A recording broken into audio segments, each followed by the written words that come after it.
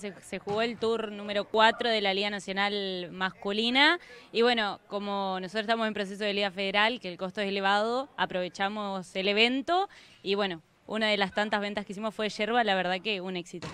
Exactamente, porque bueno, los gastos son terribles, ¿no es cierto? ¿Cuántas chicas van a estar viajando en principio? ¿Salen el 5 o el 5 ya tienen que estar jugando?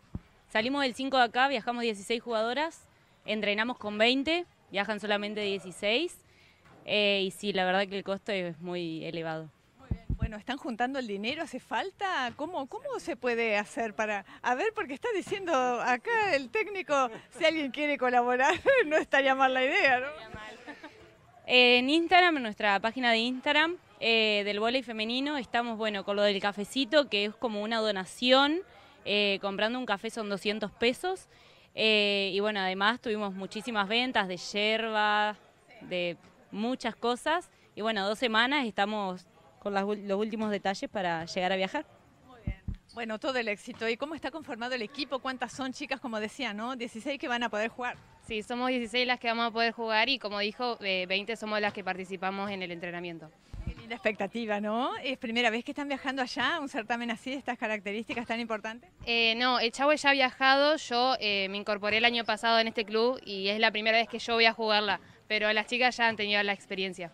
Qué lindo, ¿no? Conformar un equipo porque es un equipo, es decir, es un deporte que se juega en equipo sí o sí. Aquí no, no, hay, no hay favoritismo ni protagonismo, es un equipo que después lo festeja todos haciendo un gran scrum. Sí, sí, por suerte hace rato que venimos todas juntas y la verdad que somos un grupo reunido y eso era lo que apuntábamos, que seamos todas, digamos, del club, solamente hubo un refuerzo que es de Robin eh, una chica que es de Robin y después todas del club y eso era lo que más esperábamos hace no sé cuánto, hace como cinco años, cinco años que no jugábamos una liga, capaz que hace un poquito más.